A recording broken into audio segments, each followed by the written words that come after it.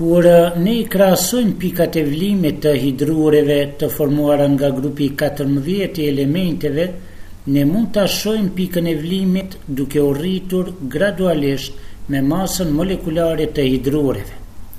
Katër hidruret janë shumë simetrike me strukturën tetraedrike siç është metani, prandaj ato janë jopolare.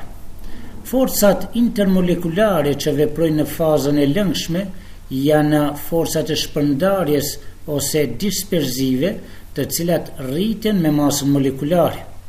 Grafiku i ndërtuar për hidruret e elementeve të grupit pesëmbëdhjetë tregon një tjetër model, derisa hidruret e fosforit, arsenit dhe antimonit ndjekin tendencën e grupit katërmbëdhjetë, pika e vlimit të amonjakut është jashtëzakonisht e lartë.